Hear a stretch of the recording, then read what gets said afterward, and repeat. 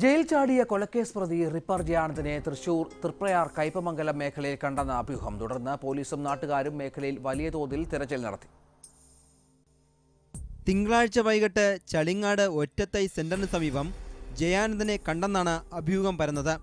മൂന്ന് ഷർട്ടും പാൻസും ധരിച്ച് മനോരോഗിയെ പോലെ വീടുകളിൽ കയറിയിറങ്ങിയ ഇയാൾ ചളിങ്ങാട്ടുള്ള ഒരു വീട്ടിൽ നിന്നും വെള്ളം കുടിച്ചതായും നാട്ടുകാർ പറഞ്ഞു.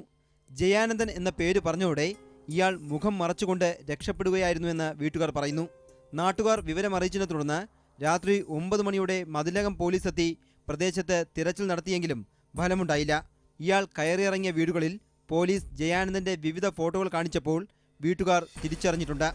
കുറ്റിത്തലമുടിയും ക്ലീൻ ഷേവുമായിരുന്നു ഇയാളുടെ രൂപമെന്നും നാട്ടുകാർ പറഞ്ഞു. ജയാനന്ദൻ ജയിൽ ചാടി ഒരു മാസം കഴിഞ്ഞിട്ടും പിടികൂടാനാവാത്തത് പോലീസിന് വലിയ തലവേദന ഉണ്ടാക്കുകയാണ്. നേരത്തെ മാള അന്നമനട മേഖലകളിലും ജയാനന്ദനു വേണ്ടി തെരച്ചിൽ നടത്തിയിരുന്നു. ഏഷ്യാനെറ്റ് ന്യൂസ് തൃശൂർ.